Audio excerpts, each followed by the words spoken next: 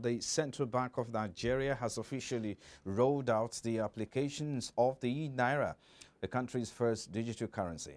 It took out uh, the e-Naira Speed Wallet and e-Naira Merchant Wallet and are currently available on Google Play Store and Apple Store, respectively.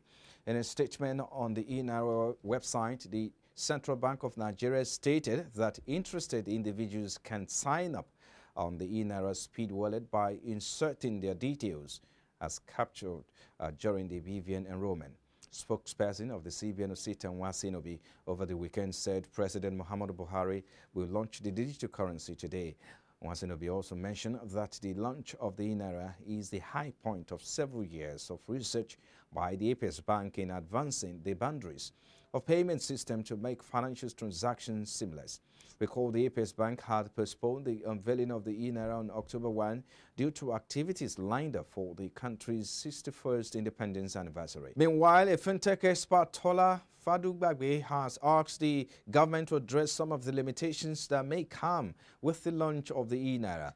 According to Fadugbagbe, there is the need to learn from already established platform from dollar-denominated asset.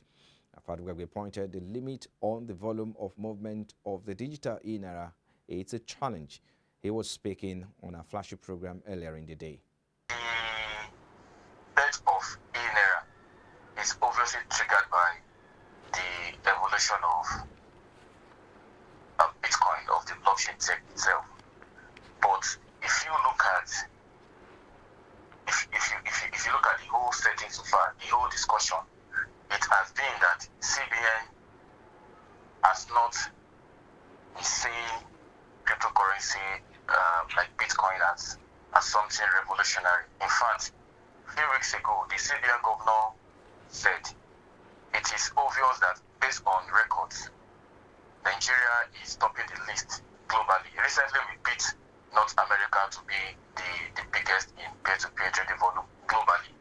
And um, what the governor said, the senior governor said, was all these things are not having direct impact on the economy. And um, at the time, he said uh, the whole thing um, could be fraud because there is no impact that it has contributed into our own GDP. Uh, that being said, um, you you can't you can't throw away an idea that you are creating something from, and um, you want that very thing to scale. Take for instance, there is no way you want to build a website and you want to you want to get rid of the internet. You want to you want to tarnish the internet and um, you want to launch a website. It doesn't work because your website can only come to reality because there is something called the internet. Uh, when it comes to volume that, that can be transacted, it, it, it is very limited. I know that CBN um, is trying to to mitigate corruption, which is uh, which is which is a very um, welcome um, idea. But there is, there is there is so much limitation which CBN also needs to look into. Away from there now, a member of the Chartered Institute of Taxation of Nigeria, Sheson Okwande, has bemoaned the proposal for introduction of road infrastructure tax. While reacting to the Federal Inland Revenue Service proposal for the introduction of infrastructure tax on road users, Okwande highlighted the impact of the policy on the masses should the proposal be considered. Okwande was speaking on a flagship program Business Breakfast earlier in the day. I consider it as uh, multiple taxation uh, which will go contrary to the view of the federal government in the area of uh, uh ease of doing the business. Uh, but the other area I would have thought the FIRS should be doing were some of the things that it did with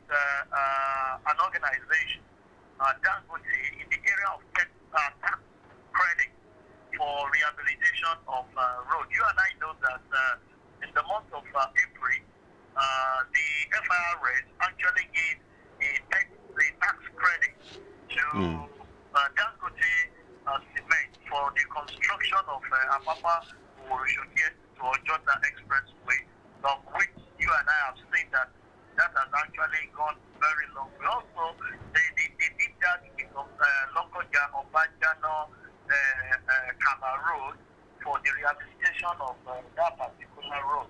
So I, I feel that the that are actually being paid by individuals and organizations which is to raise government uh, revenue, it's uh, more than enough. Uh, rather than going to a tax certificate, why hmm. don't we pull from the resources? If we consider right. that if, if it gets to the government post, it might be difficult to dispose out.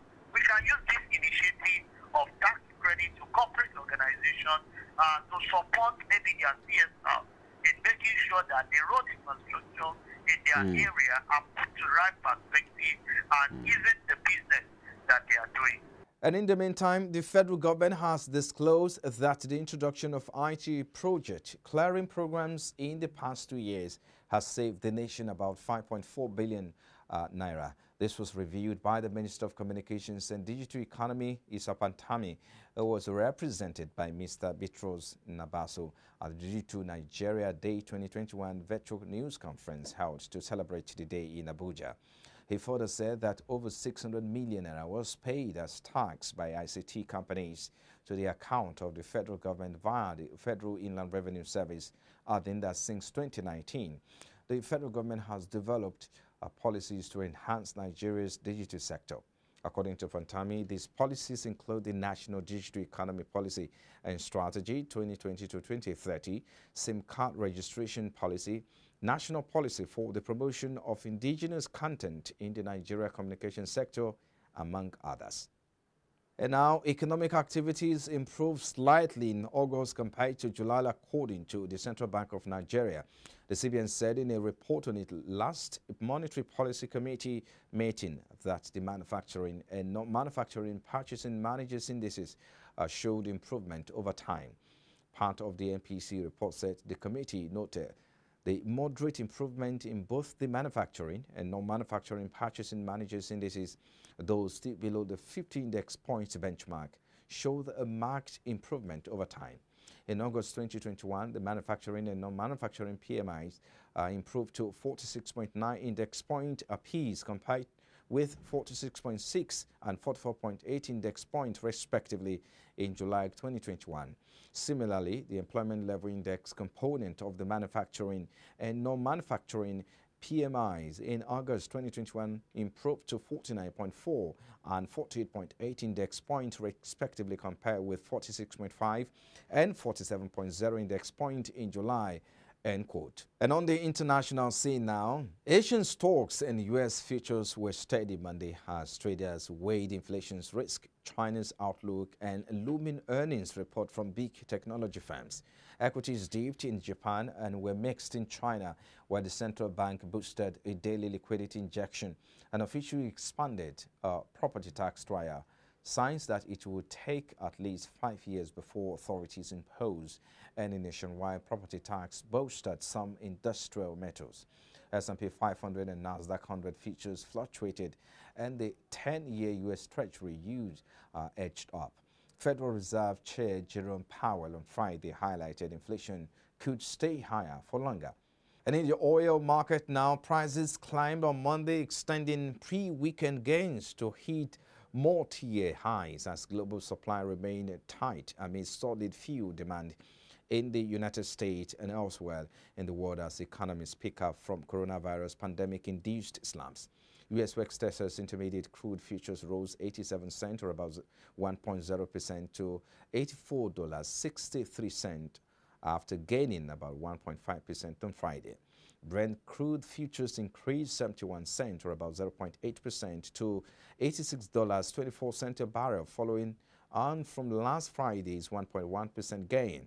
The contract earlier hit its highest since October 2018 of $86.43 a barrel. After more than a year of depressed fuel demand, gasoline and distillate consumption is back in line with five-year averages in the United States, the world's largest fuel consumer. And that wraps it up on business news at this time. And thanks for watching. I am Frank Omala.